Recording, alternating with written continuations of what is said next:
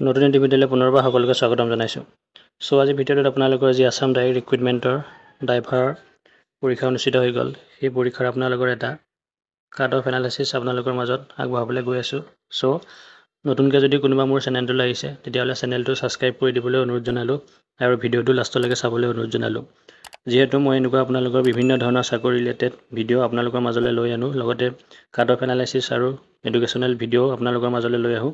সেইকাৰণে তেনেকুৱা ধৰণৰ ভিডিঅ' পাবৰ কাৰণে চেনেলটো ছাবস্ক্ৰাইব কৰি থ'ব। তো ব'লক তেতিয়াহ'লে আজি আপোনালোকৰ যি ড্ৰাইভাৰৰ কাট অফ এনালাইচিছ এইটো কোনো অফিচিয়েল কাট অফ নহয় এইটো মোৰ ফালৰ পৰা এটা এজামশ্যন এনালাইচিছ আপোনালোকৰ মাজত দাঙিবলৈ গৈ আছোঁ। চ' ব'লক তেতিয়াহ'লে ভিডিঅ'টো আৰম্ভ কৰোঁ মোৰ মতে কিমান কাট অফ যাব পাৰে। চ' ব'লক তেতিয়াহ'লে।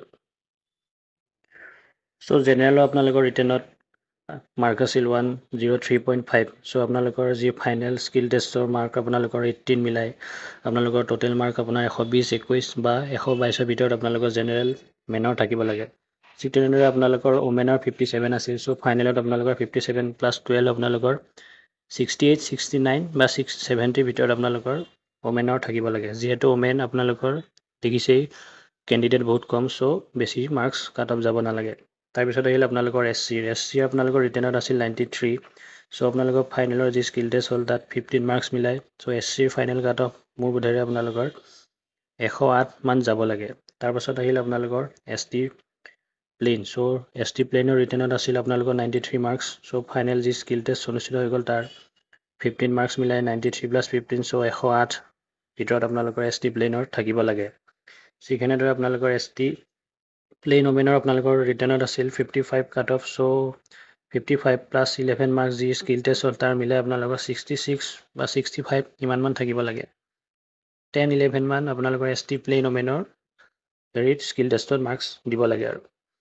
তাৰপিছত আহিলে আপোনালোকৰ S T hills so' S T হিলছৰ আপোনালোকৰ ছেভেণ্টি এইট আছিল আপোনালোকৰ ৰিটেনত চ' ফাইনেলৰ আপোনালোকৰ ছেভেণ্টি এইট প্লাছ টুৱেল্ভ মিলাই আপোনালোকৰ নাইণ্টি মাৰ্কছ এছ টি হিলছৰ যাব লাগে। ঠিক তেনেদৰে আপোনালোকৰ O' B C M O' B চিৰ ৰিটেনত আছিল নাইণ্টি ছিক্স চ' ফাইনেলৰ যি স্কিল টেষ্ট হ'ল তাৰ ছিক্সটিন মাৰ্কছ মিলাই এশ বাৰ ভিতৰত থাকিব লাগে। এশ দহ টু এশ বাৰ সিমানমান থাকিব লাগে আপোনালোকৰ O' B C M O' B চিৰ ঠিক তেনেদৰে আপোনালোকৰ O' B C M O' B চিৰ যি ওমেন আছিল ওমেনৰ ৰিটেনত কাট অফ আছিল ফিফটি ওৱান আৰু ফাইনেলৰ ফিফটি ওৱান প্লাছ টুৱেল্ভ মিলাই আপোনালোকৰ ছিক্সটি থ্ৰীৰ ভিতৰত আপোনালোকৰ final O' B C M O' B চিৰ ওমেনৰ কাট অফ যাব লাগে।